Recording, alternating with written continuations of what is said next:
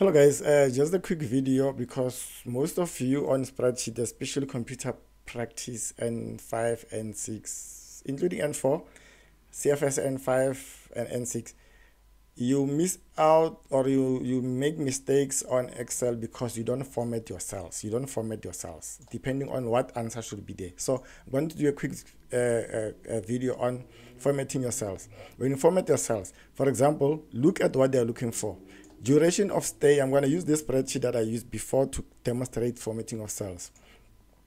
Duration of stay in days. Days should be in terms of like 5 days, 10 days, 11 days. So we're looking for a number in here.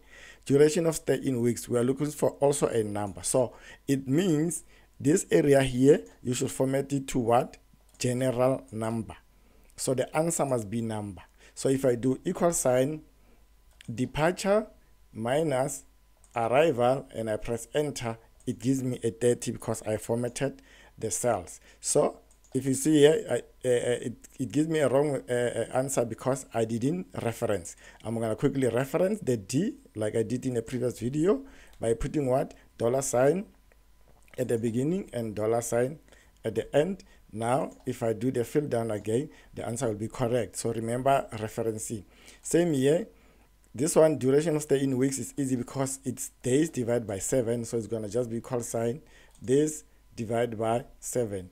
Then the answer is also a number. Now it's a long, you see it's got uh, decimals. Always remove the decimals when you deal with days and uh, uh, days, weeks, or time. Remove the decimals. Don't have like long numbers. And then you do the fill down, complete. And then in terms of money, in here we're looking for money. So we're looking for what? Currency, we're looking for R. So the answer here must be money. So it's going to be equal sign uh, this amount, 550, multiply, multiply by days. It's going to be give us 16,000. Do not put the R sign yourself. Uh, you have to highlight and then select the currency. Do not put the R sign yourself. Excel can Excel cannot calculate that. Now, you have seen how to format to days and also how to format to money. So you also need to know how to format to, to time. If we're going to put time here, you must look at the at the at here on the screen bottom uh, bottom right here. See the format of my clock there. I use the format that I see there on here. Or what you can do you can also uh, you can also click on your where you're gonna put time let me use this one highlight right click go to cell formatting go to time and then you must always put it under United States because United States is your the computer formula that's used on the question papers. Select that short version, not the one with the PM and and, and seconds. The short version, then you click OK. It's gonna format it to time same as that one. You format it. Duration of stay in hours. Now, the answer here cannot be time, cannot be clock. It must be total number of hours, like a 10 hours, 11 hours. If I do this as if I do on here, if I put equal sign departure minus arrival time, it's going to give me like 9 o'clock. We don't we are not looking for 9 o'clock. We're looking for nine hours. So what you should do, you highlight this area and then you're going to change the format to general numbers. And then uh, you, you see it's now giving me like commas, commas and then you get frustrated. You go to your formula, double click on your formula at the beginning of the D and at the end of the formula multiply by what? You're going to multiply everything by 24. Then gives you a 9. That's how you calculate log.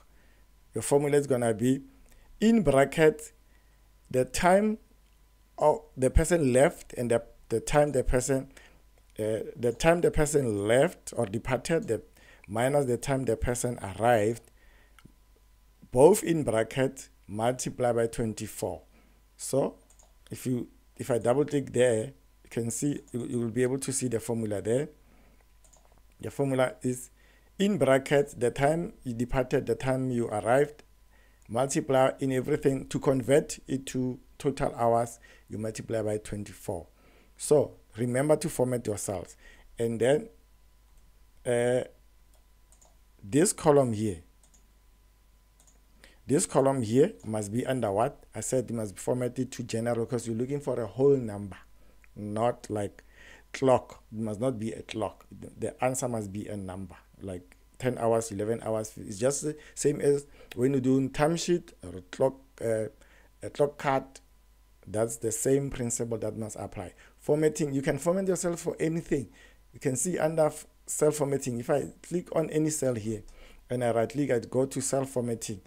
You got all this currency accounting days time percentage fraction same thing when you're looking for a percentage you're going to uh, uh, format the cell to be what?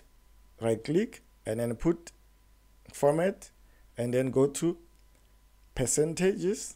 So the answer that is in there is a percentage. So for example if i put in here equal sign uh, 4 divided by 30 and i press enter it's to give me 14 percent. Because already formatted you don't need to even multiply by 100% by 100 because i already told these cells so that the answer that comes here must be a percentage sign. So please format your cells by right clicking and deciding okay this column is looking for number this column is looking for date this column is looking for currency looking for money and this column is looking for text like here text so you format your cells according to what is what you, uh, what must be in that cell